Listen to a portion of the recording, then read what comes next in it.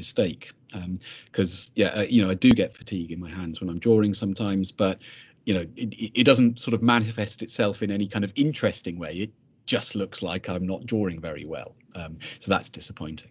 Uh, another aspect, um, and actually something that's been uh, particularly rewarding about this whole process, is that uh, some of this work has actually enabled me to uh, reach out to communities who are directly involved in multiple sclerosis, both to other patients and to clinical communities. Um, so, I mean, you know, I should say, obviously, it's you know, in talking through all of this, it's an incredible privilege that I am able to use my activities as an artist and as a researcher to address these, you know, deeply kind of personally resonant and meaningful aspects. You know, fundamentally, I'm I'm, I'm able to use um, large chunks of my career as kind of a coping strategy to deal with this. I mean, and that's you know, very few people when they receive this kind of kind of diagnosis get that sort of opportunity. So I mean, yeah, that that's a wonderful thing. Um, but yeah, and perhaps particularly wonderful is the fact that I've been able to directly share this with people to whom it's relevant. So on, on the right hand side, I um, I depict myself receiving an email. Um, so as I say in the caption at the top, you might have read it while I've been talking. Um, my own neurologist, who was depicted in that that slide of diagnosis um, a couple of slides ago, and, and who now actually owns the original of that drawing, a colleague of his brought it for him as a, a present to celebrate his promotion to professor. He's, you know, I've, so I've I've shown him these comics. He's been incredibly supportive. It's directly kind of enhanced the quality of of care that I receive uh, from him and from the neurology team. And as, as I talk about in the caption here, he invited me to blog about this stuff um, for a blog that they write, and that that led to other people getting in touch. And um, you know, one of something I was really delighted by was another neurologist who I've had no direct contact with.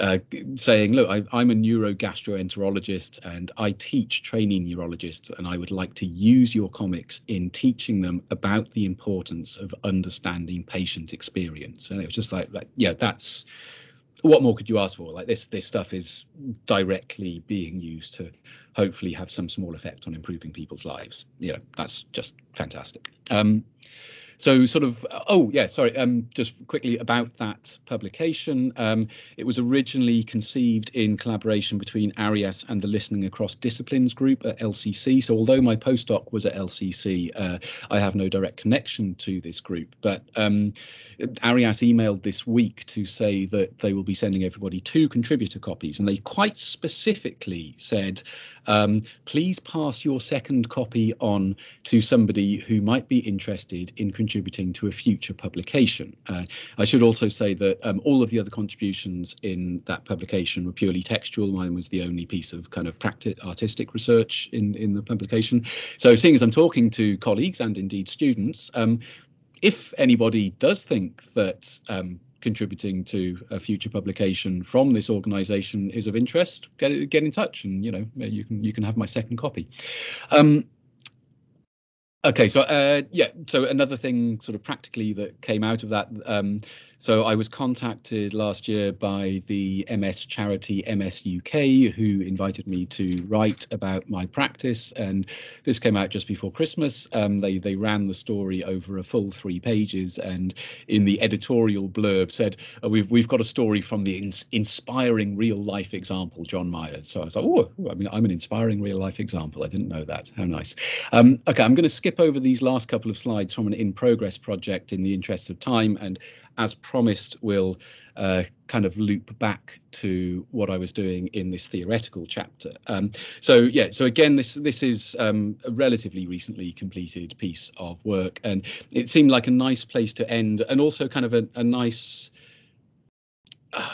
A, nice point on this journey that I've been describing because it yeah, every, everything that I've shown in the last few minutes was you know, practical work that had a theoretical backing. Um, but actually, so the, the brief for this chapter was to, first of all, introduce an art historical context, explain how it's relevant to comic studies, and then discuss a practical project in which you've explored this context. So, so this gave me the opportunity to kind of bring my practice back to theory, and rather than talking about how my practice has been informed by theory, try to make some suggestions about how um, how my practice might continue to inform theory as it develops. Um, and so what I was particularly interested in here was uh, the way that in, in comic studies, um, particularly influenced by my colleague Simon Grennan at the University of Chester, there, there's a, a, strong sort of line of argument developing in which we, we, we, we, see, we see depiction as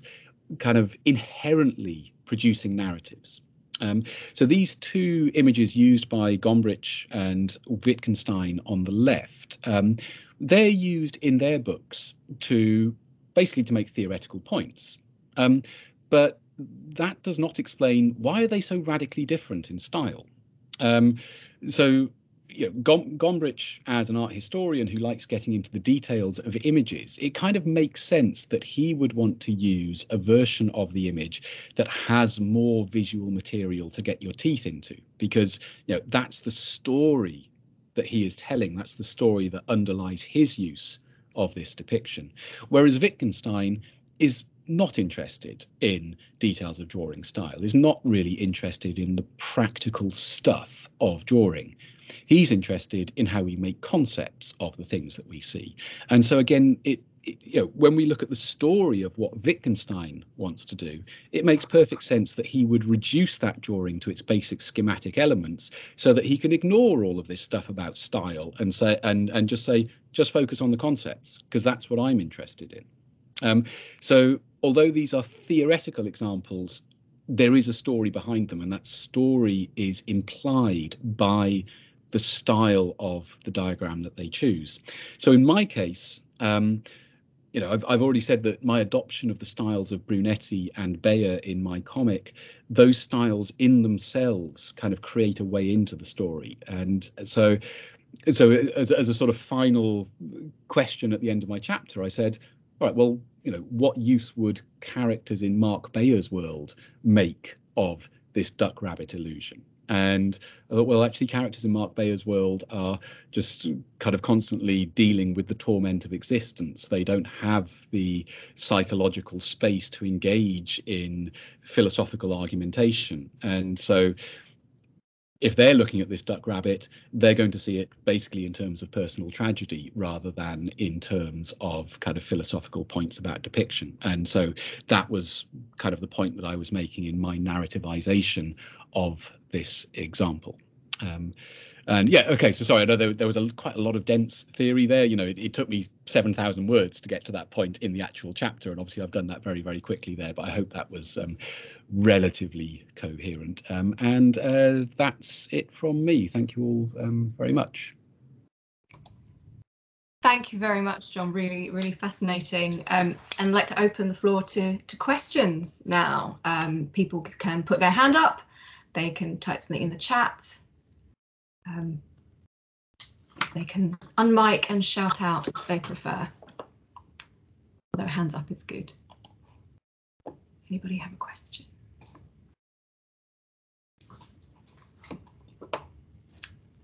Nicola, you have your hand up and your camera on. Hi, yes, you can always rely Hi, on me to come jumping in.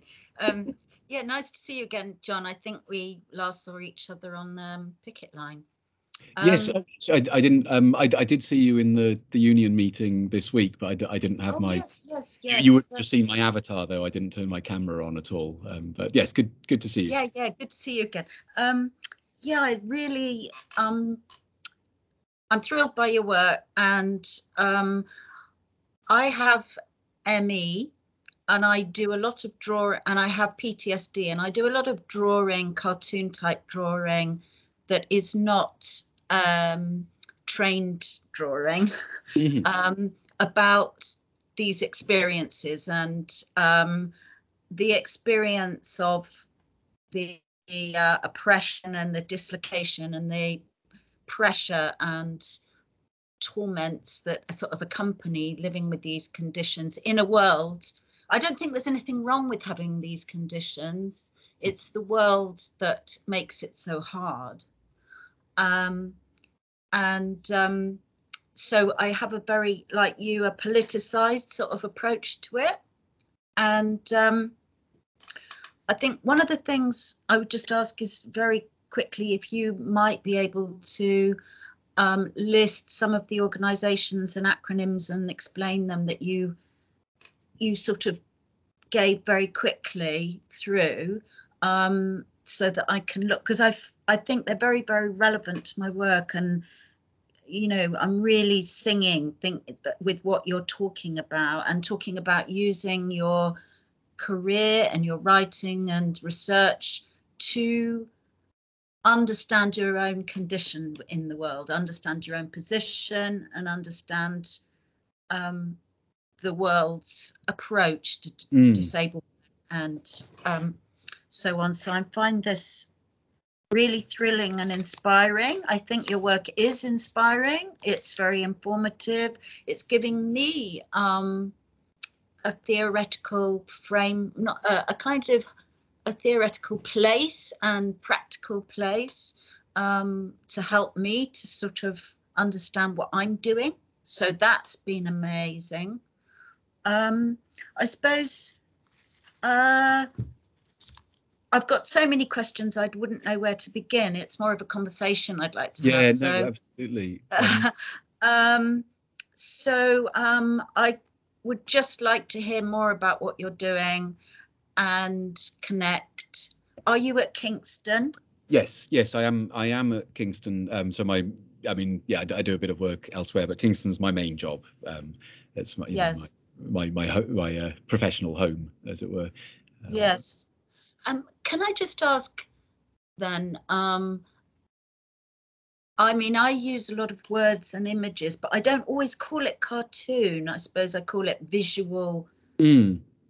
visual text. Um, and my work isn't always have figures in it. It doesn't always have people in it. It might just have shapes and things. So um, I would like to know whether you have looked at other forms of visual uh, drawing and expression that is less cartoonish? Um, yes, yeah, absolutely. I mean, I, I, guess so. So I sort of, you know, identify quite strongly as a cartoonist because of, you know, I've just I've been a comics nerd all my life, and that's, you know, so I identify very strongly with, you know, that particular art form, that that particular group of cultural traditions, and that's just, you know, um, yeah.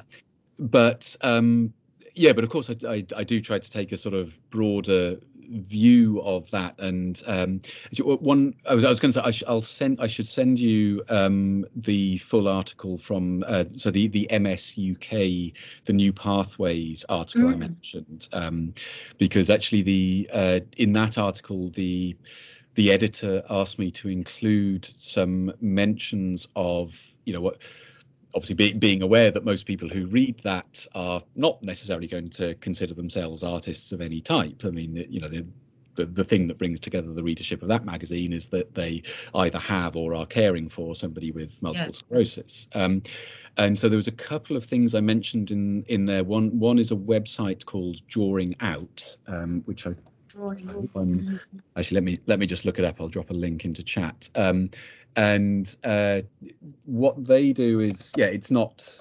cartooning. Um, they talk about uh, the use of uh, visual metaphor uh, as yes. a way of kind of conceptualizing. Actually, what I mean, it's in a way, it's more relevant to ME than it is to MS because it's specifically about invisible diseases. Um, yes.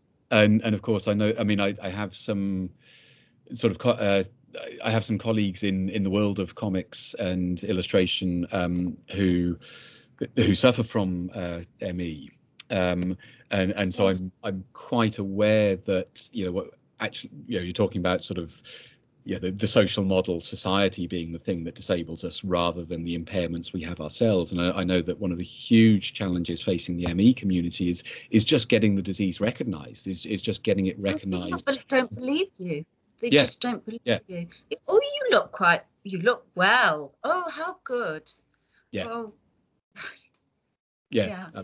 absolutely. Um, and and you know and and, and the sort of oh, you know the kind of value judgments that can go along with it. I mean, you know, even things I, I know, you know, one one of the like with I mean, obviously MS is kind of widely recognised, and you know, MS has thing you know so has visually observable symptoms, um, but you know, a lot of the time I do look fairly. I mean, I'm lucky that you know so far. Um, you know, I'm, I'm I'm still sort of independently mobile and stuff, and obviously, long may that continue. Um, yeah, I do often use a walking stick, which is a, a vi- you know a visual thing. But you know, one of the key um, symptoms of MS is fatigue.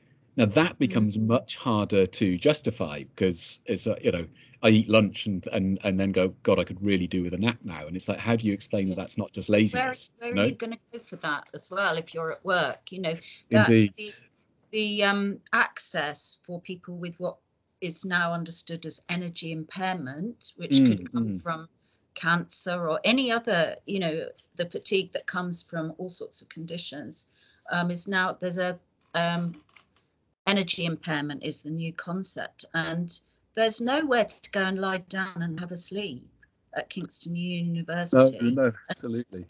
and and that's a basic piece of access that um you know when i've asked about it people just sort of half smile as if i'm joking you know as if it would be why yes ha ha ha ha um no i'm serious i Yeah. need to go and have a No, sleep no, I, I, ab- absolutely. I mean, I'm And- well, of course. and- I mean, I mean, I guess that's the thing, though. it It's it's easy for me to say I understand because you know I have direct You understand, experience of, of things like disability that. It's like The disability office just says, yes, oh, we don't, we're not aware of anything.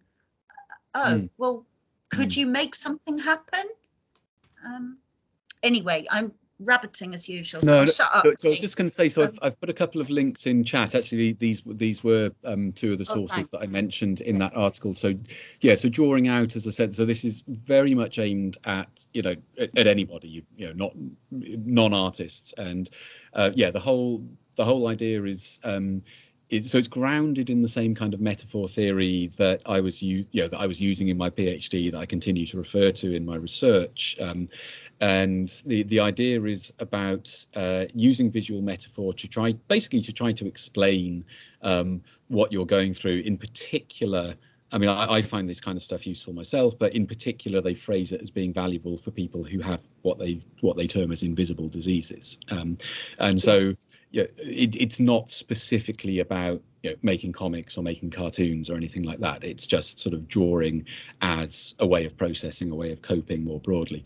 And the, the second link under there is the Drawing Together archive by um, Graphic Medicine. So, I mean, Graphic Medicine is a kind of growing branch of the medical humanities, and, and the term graphic medicine refers specifically to the use of comics in healthcare, um, whether that's people doing stuff like I've done, like you know, people with illnesses creating comics, or the other example I referred to, where a neurologist is actually saying, "I'm going to use your comics as part of teaching trainee doctors." That would also count as graphic medicine. So Yes. although, although the term itself is quite focused on comics. Um, the particular page that I've linked to is the archives of their drawing together meetings. So this was something that they started doing over Zoom during the pandemic, and um, so the people involved in those meetings generally do tend to be kind of professionally or personally interested in comics, but the results of those um, meetings are just drawings. And this was just kind of a community building thing. So, uh, you know, obviously we all found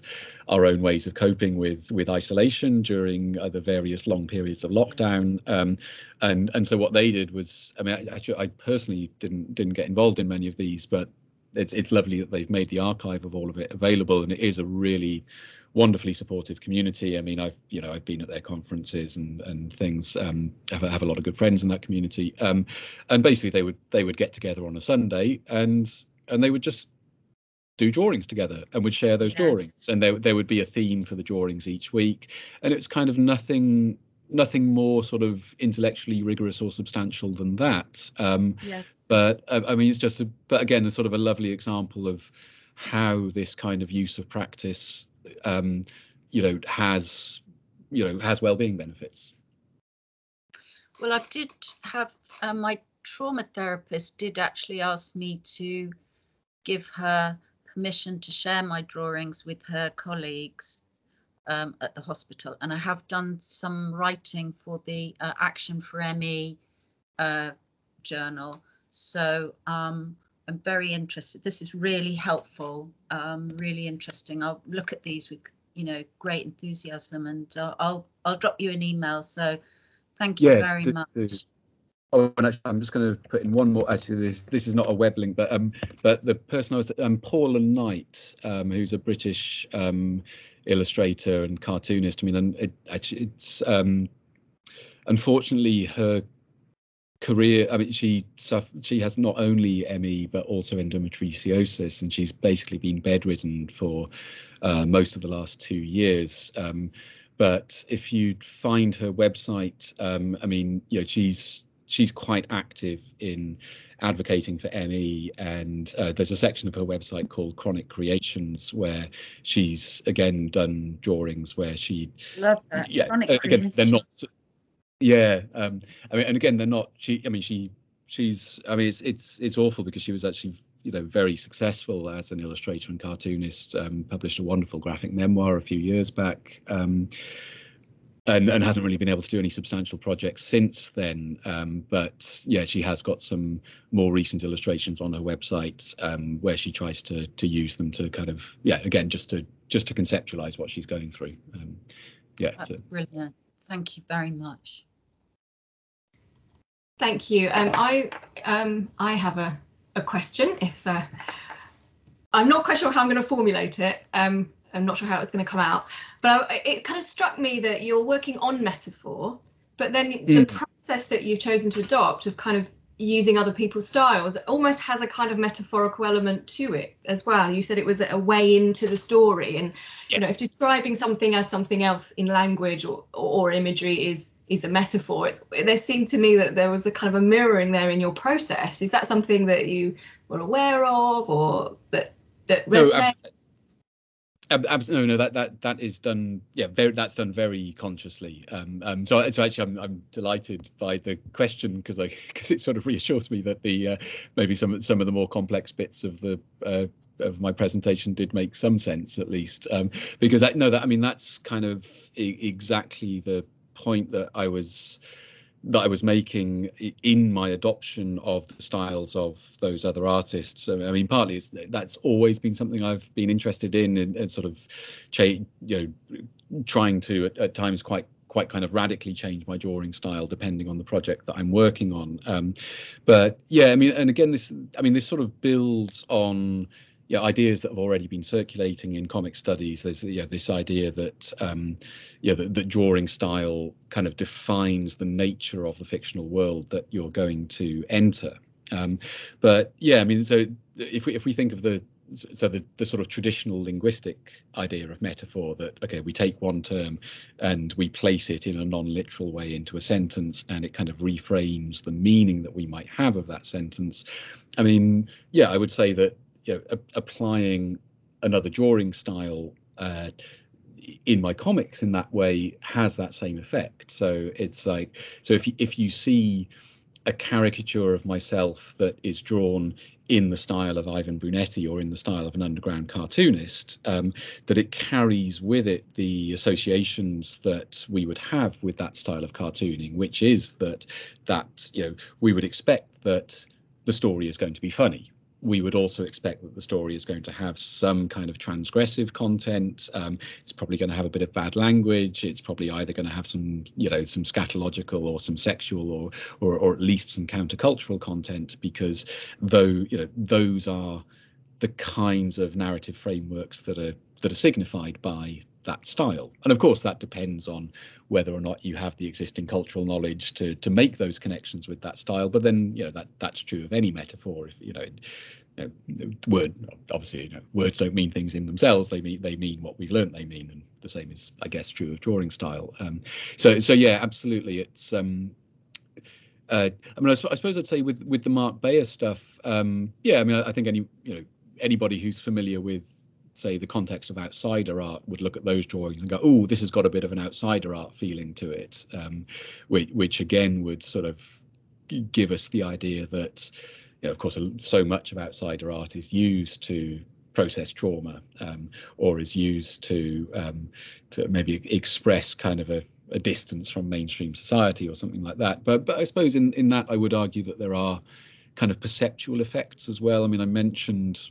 again very briefly in in the talk that one of the one of the signature features of Beyer's style is these sort of really exaggerated kind of vertiginous perspectives that that often are spatially incoherent in terms of you know what they create on the page. Um, and and so perhaps on on a more purely perceptual level like you you look at those drawings and you're sort of like I can't quite work out where things fit together in this pictorial space that you've created. Um, and and so again sort of with metaphor theory I would argue that you know if you're if you're looking at a physical space and thinking I don't quite get how things fit together in this physical space that that kind of metaphorically that translates to reinforcing this meaning of I don't quite get how things fit together emotionally or psychologically in in this kind of broader space of life that I've been dragged into by this diagnosis.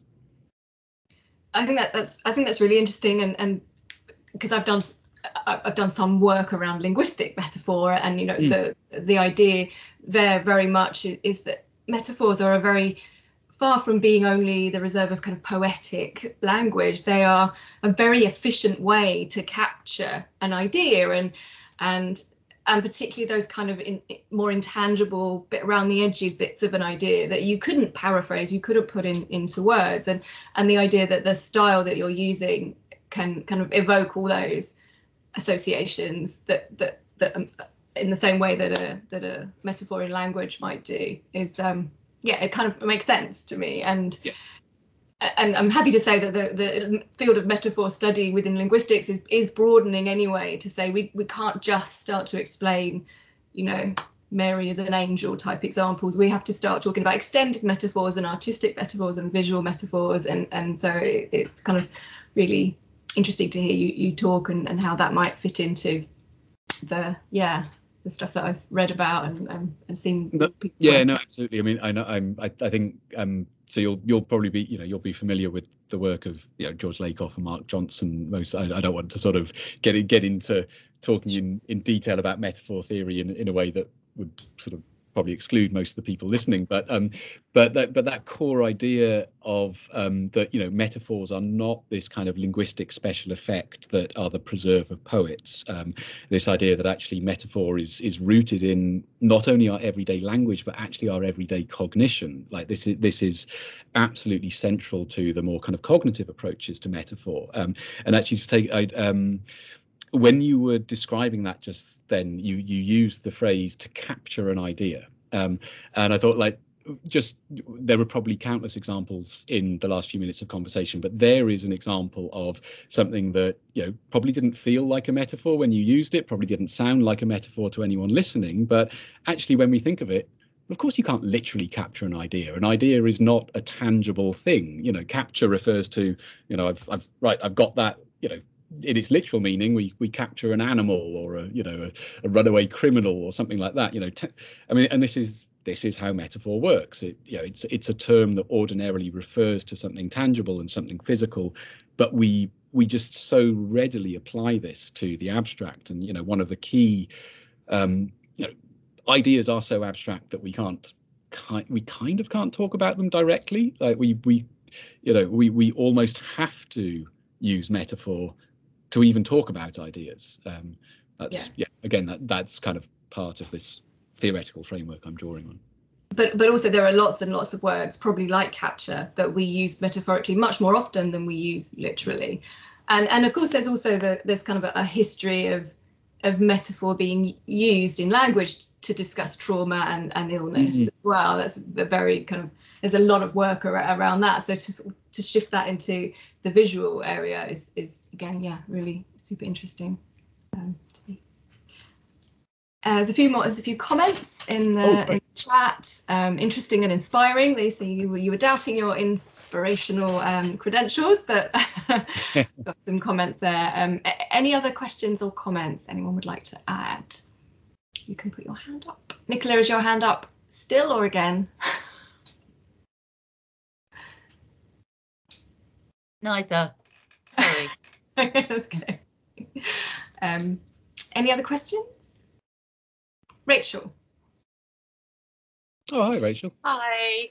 Hi, I was lurking. Um, yeah, wonderful to hear. I think I've heard a, a version of this before, but it was really nice to kind of listen to it again. And um, I think uh, listening to it in relation to kind of illustration research, which sort of aligns with comic studies, but somehow seems sort of adjunct in many ways. But and often um, discussing style within illustration is perceived as something that we should avoid and has been for a while. So it's really nice to hear you an unpacking of style. Style's often been uh, considered a kind of uh, um, kind of innate capacity of an individual to produce a particular way of working, kind of like an authorial genius that they must protect at all costs, um, literal costs like money and clients and things. Um, so I was just thinking about you um, taking on these kind of or other people's personas almost, and you talk about them in relation to a genre like underground comics. But I was wondering, like, whether you felt like you were taking whether that was just a genre type um, persona or something of those actual individual people. They all happen to be male, I think, or the comic book yes. artists you know, you were. well, and I presume, I don't know. I was just wondering if there's something of that that you felt. Yeah, okay, no, that's um, so. Um, yes, they they are all, with, with the exception of Lindsay Cooper, um, who uh, who I, I didn't talk about very much. Although, of course, she, of of all the people depicted in those images, she was the only one who's not a visual artist. Um, she was she was a musician. Um, but actually, there there will be more. Um, there will be more coming uh, based on her because actually she uh, at LCC um, they had a, a really big archive of her stuff. And um, it's weird, I, I feel like I know her quite well because in that archive was um, two years worth of her personal diaries. Um, and these were diaries that were written um, just a few years after she'd been diagnosed. So you know I had this you know incredible opportunity to read in you know immense detail how she'd coped with with MS. Um, so those kind of simple drawings that um, I had of her on that one slide, that's because yeah, she wasn't a visual artist, but she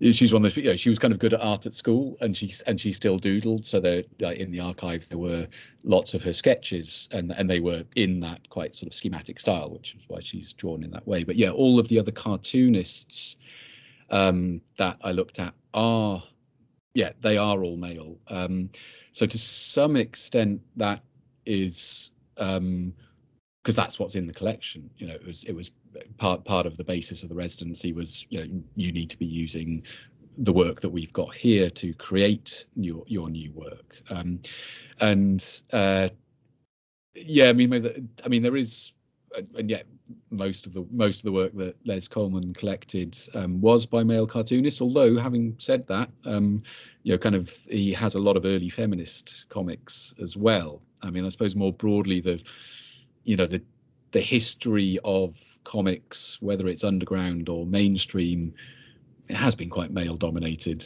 Um, I guess in that sense, it's uh, what I was kind of interested in or getting at was like when, when you talk about you talk about it as like a stylistic genre that you're taking on and you're using the kind of um Mm. the way that we interpret that that genre rather than the way that we might interpret that individual like authorial voice of that one person and I was one and I was just wondering Right. whether, like finding particular affinity with that particular person or what it, or was that what you were doing or was it just taking on the genre because Yeah, that so- gave you a certain sort of type of visual language rather than like the really specific voice of one person that you could Mm. like take on as as their character almost like an actor or something. I so I get a, a bit of both. So I mean, I, I guess I'd say, I mean, you know, it's so if, if we think about say the difference between how style is treated perhaps in sort of illustration theory compared to comics theory um, is that you know in in general there is uh, an established approach in comics theory that does see style as something that is kind of shared across a range of artists. So, I mean, so if we think, for example, I'd say in, in the Franco-Belgian tradition, like the, the, the clear line style that develops from the work of Hergé, the creator of Tintin, um, although he, you know, he's seen as the originator of that style, but that style is not seen as something that belongs to him. It's seen as a style that actually is kind of fundamental to a, a, whole tradition of comic storytelling. And then we can say similar things about you know that there is kind of there is kind of a style of say superhero comics um, and that absolutely is not to say that all artists who draw superhero comics look the same, but there are sort of shared features that we can recognize across the vast majority of superhero comics, and they they might be to do with a certain sort of uh, there's a kind of bombastic neoclassicism that runs through all of them, and and all artists working in that genre will share that to some extent. Um, so on that level, like for example, what I was saying about Brunetti is that um, so there are features of his style that we could also identify. I mean, if we're talking about underground comics, I guess the obviously the most obvious example is Robert Crumb. Um, so there are features of his style that we can also say, yeah, Robert Crumb's work also has those features. But then um, in terms of the sort of narrative framework, um, I think I, I hope at least I was responding to Brunetti specifically. So um, in in that comic that I showed an excerpt from Schizo, I, it's I mean, actually, it, it, it's not a comic I enjoyed reading because it's like he's it, it's difficult.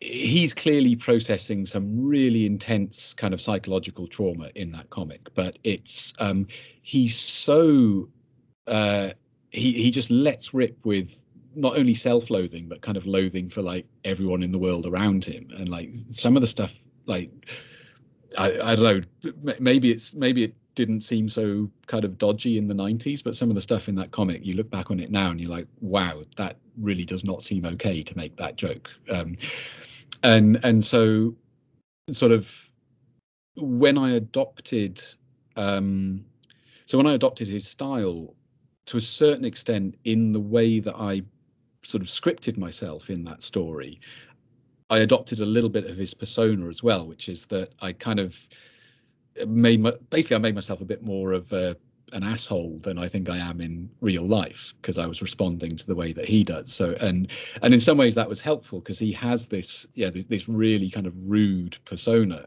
um, and and sort of I adopted this and it was you know but the thing that I was rude to was like my disease. I was like yeah yeah come on MS you can't you know you so so in that sense so so it's yeah so I guess visually I think I was, you know, I, I, did look in in in sort of minute detail at his pages, and I would be looking at going, okay, how does he shade this type of surface, or you know, if he's doing a composition this way, how does he do the corners or whatever? So there was that just kind of really sort of tedious, like listing the inventory of his style. Um, and so although it's got this kind of generic underground comics thing, there there are aspects of it that I think did respond very specifically to him. And in the case of Mark Beyer, I would say that like yeah, I guess it depends where the artist fits in. I mean, there really aren't any other comics artists whose work looks like Mark Beyer's. I mean, he really is um, kind of an original in that sense. I mean, it, it, looks like outsider art in more generally, but it does not fit into any tradition of comics illustration. And so so the work I did responding to him, I would say, yeah, that that is definitely a response to that particular artist and not to any kind of wider genre.